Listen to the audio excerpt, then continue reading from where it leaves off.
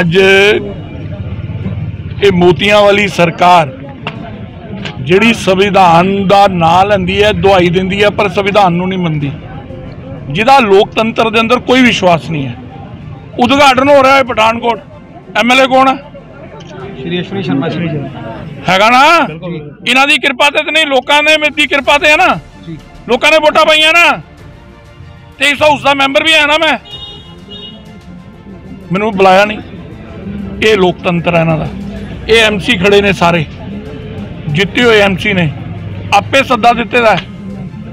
ਇੰਨੀ ਪੁਲਿਸ ਲਗਾਤੀ ਹੈ। ਇਹਨਾਂ ਨੂੰ ਅੰਦਰ ਨਹੀਂ ਜਾਣ ਦਿੱਤਾ। ਕਿਉਂਕਿ ਮਰਿਆਦਾਵਾਂ ਤੋੜੀਆਂ ਗਈਆਂ। ਕਿਹੜੇ ਮੁੰਡੇ ਲੋਕਤੰਤਰ ਦੀ ਹੱਤਿਆ ਕੀਤੀ ਗਈ ਹੈ।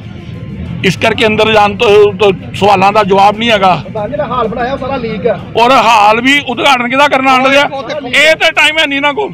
ਜੀ ਕਿਆ ਵੇਖ ਲਈਏ ਕਿ ਜਿੱਥੇ ਮੰਤਰੀ ਨੂੰ ਬੁਲਾਇਆ ਹੈ ਭਾਜੀ ਉਹ ਦੇਖੋ ਚਾਰ- ਬੰਦੇ ਅੰਦਰ ਜਾ ਰਹੇ ਆ। ਚਾਰ ਬਰਸਾਤਾਂ ਪਈਆਂ। ਹੋ ਬਰਸਾਤਾਂ ਪਈਆਂ। ਹੋ। ਬਰਸਾਤ ਦੇ ਅੰਦਰ ਛਮ ਛਮ। ਚੋ ਰਿਹਾ ਸੀ। ਉਹਦਾ ਧਿਆਨ ਨਹੀਂ ਕੀਤਾ ਉਹਨਾਂ ਨੂੰ ਉਹਨਾਂ ਰੋਕਣਾ ਹੀ ਨਹੀਂ ਭਾਜਪਾ ਦੀ ਆਵਾਜ਼ ਨੂੰ ਦਬਾਇਆ ਜਾ ਰਿਹਾ ਪ੍ਰਸ਼ਾਸਨ ਵੱਲੋਂ। ਜਨਤਾ ਦੀ ਆਵਾਜ਼ ਨੂੰ ਦਬਾਇਆ ਜਾ ਰਿਹਾ। ਭਾਜਪਾ ਵੋਟਰਾਂ ਦਾ- ਦੀ ਆਵਾਜ਼। ਵ- ਵੋਟਰਾਂ ਦਾ ਅਪਮਾਨ ਕੀਤਾ ਜਾ ਰਿਹਾ ਹੈ। ਜਨ ਆਦੇਸ਼ ਨੂੰ ਸਵੀਕਾਰ ਨਹੀਂ ਕੀਤਾ ਜਾ ਰਿਹਾ।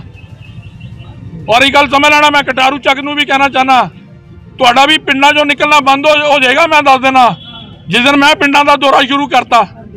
ਇਸ ਤਰੀਕੇ ਦੇ ਨਾਲ ਅਪਮਾਨ ਕਰਨ ਦਾ ਕੋਈ ਅਧਿਕਾਰ ਨਹੀਂ ਹੈ ਪਠਾਨਕੋਟੀਆਂ ਦਾ। ਤੁਸੀਂ ਮੇਰਾ ਅਪਮਾਨ ਨਹੀਂ ਕਰ ਰਹੇ ਪਠਾਨਕੋਟੀਆਂ ਦਾ ਅਪਮਾਨ ਕਰ ਰਹੇ ਹੋ। ਬੰਦੇ ਅੰਦਰ ਵਾੜੇ? ਆ। ਉਹ ਨਹੀਂ।